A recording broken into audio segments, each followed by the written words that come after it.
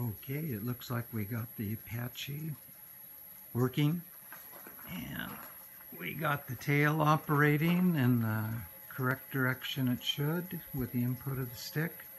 And then uh, the beast gyro system is counteracting it uh, when it needs to.